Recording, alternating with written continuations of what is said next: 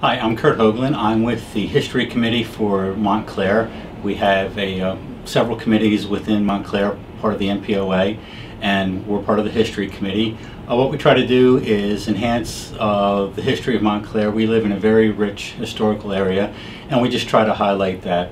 On September 15th from 10 o'clock to 2 p.m., we're going to be having a Montclair History Day at the Montclair Library and the Barnes House.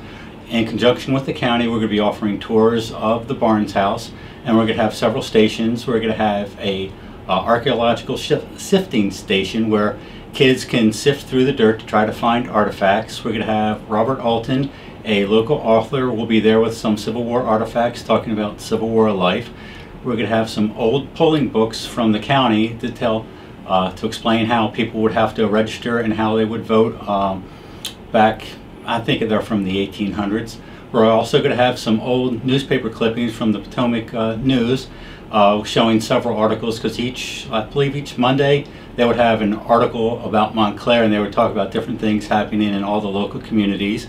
And we're also going to have some old maps of the uh, design for Montclair to see how the design has changed from how it was designed to how it is actually and we're also going to have some uh, popcorn and things for the kids and uh, so it should be a fun day.